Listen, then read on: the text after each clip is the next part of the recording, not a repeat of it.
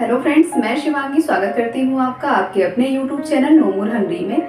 आज मैं आपसे शेयर करने वाली हूँ वेज पुलाव की रेसिपी बहुत ही इजी तरीके से। तो चलिए इसे फटाफट से बनाना शुरू करते हैं।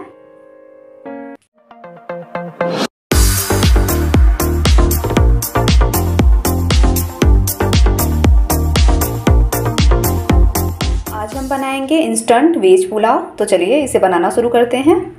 इंस्टेंट वेज पुलाव बनाने के लिए सबसे पहले मैंने यहाँ पे गैस ऑन करके प्रेशर कुकर रख दिया है। अब हम इसमें ऐड करेंगे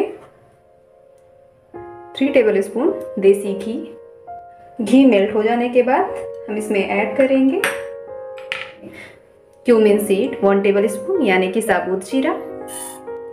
इसके बाद हम इसमें ऐड करेंगे कुछ खड़े मसाले जिससे फ्लेवर बहुत अच्छा आता है। यहाँ मैंने एक तेज पत्ता लिया है एक चक्र फूल लिया है तीन से चार लौंग लिया है तीन इंच के लगभग दालचीनी और दो छोटी इलायची। इसे भी हम ऐड कर देंगे। इससे फ्लेवर बहुत अच्छा हो चुके हैं। उसके बाद हम इसमें ऐड करेंगे। दो मीडियम साइज़ का मैंने अनियन लिया था जिसे मैंने पतले पतले अच्छों में कट कर लिया है। इसे भी हम ऐड कर देंगे।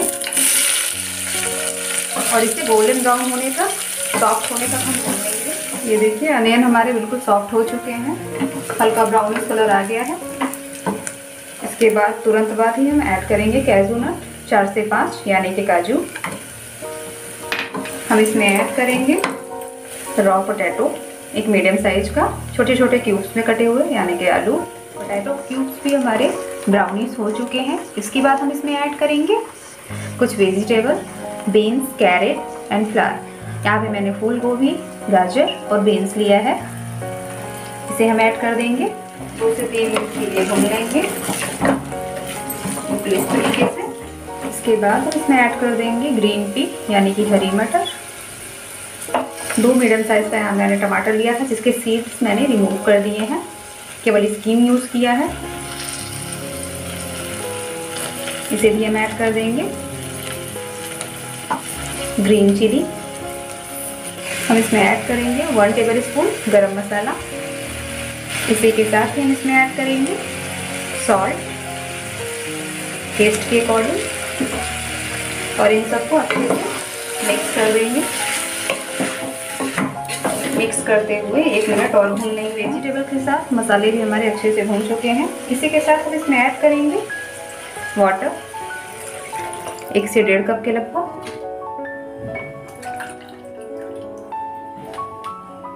यहाँ मैं दो कप वाटर ऐड कर रही हूँ। अब हम इसमें ऐड कर देंगे पुलाव राइस जिसे मैंने दो बार वॉश कर लिया है अच्छे से। सकते हैं?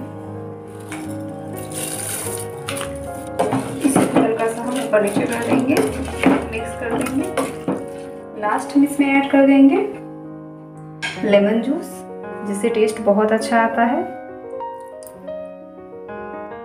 ग्रीन कोरिएंडर लीव यानी कि हरी धनिया की पत्ती। अब हम प्रेशर कुकर को कवर कर देंगे, यानी कि ढक्कन लगा देंगे। बिल्कुल इस तरीके से। और मीडियम फ्लेम पर एक सीटी आने तक वेट करेंगे। एक सीटी आ चुकी है।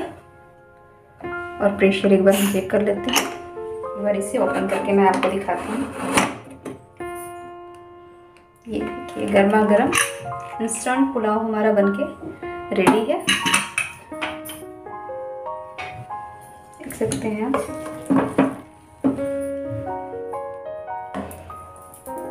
अब इसे हम गर्मा गर्म सर्व करेंगे। हम इसे ट्रांसफ़र कर लेंगे सर्विंग बाउल में। देख सकते हैं आप कितना टेस्टी बना है। इंस्टेंट पुलाव हमारा। तो रेडी है हमारा गर्मा गर्म इंस्टेंट वेज पुलाव। देख सकते हैं आप कितना टेस्टी बना है। बहुत ही अच्छी खुशबू आ रही है और बहुत ही कम समय में बना है तो आप इस रेसिपी को ज़रूर ट्राई करें और अपना फीडबैक कमेंट सेक्शन में मेंशन करना बिल्कुल ना भूलें।